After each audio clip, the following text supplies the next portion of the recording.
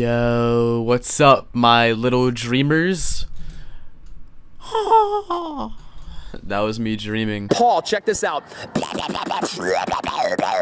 So today is the long-awaited day that we've all been long awaiting. It's the dream face reveal, and uh, if you guys didn't know, a lot of people do this. Um, you know how like let's say a music song is gonna come out at midnight, right? And it's like 11:30 p.m. and you just really want that song. Just change the time zone ahead, and oh my God, it's the next day.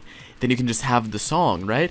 I'm doing that with the the dream the dream face reveal video. I'm doing that. I feel like I'm in Back to the Future, right? Like, holy shit, I got the little uh, device here, and it's gonna send us to the future, where we'll be able to see Dream's succulent face.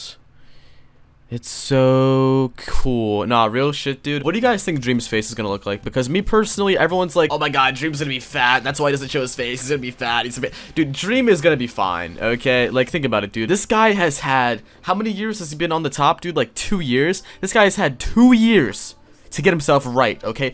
Build up that muscle mass. God! And flex those abs to the little 10 year olds. He's gonna be fine. I don't know what the deal is with like why he took so long for this face reveal to come out. I have a couple theories. Theory number one is that he wanted to build up the most hype possible so he could drop this video and then capitalize. Sorry, I'm like out of breath. This video, man, it's taking a lot out of me. I'm really excited about Dream. But yeah, like I was saying, he wanted to build up the most hype possible so he could drop this face reveal, capitalize, and then make face cam related content. Or at least content that involved his face. Dude, I'm out of breath again. I need to fix my breathing patterns, man. They're like all over the place.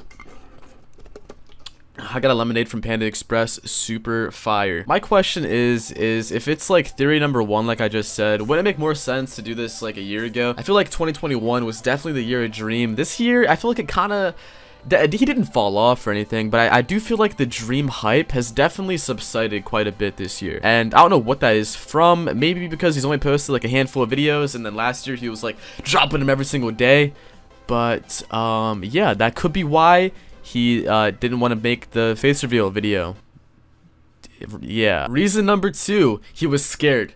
Okay, the internet has been making memes for months, days, even years, saying that Dream could possibly be a fat, slobby, lazy piece of garbage. So he was sitting there looking at his fat self and decided, hey man, you know what?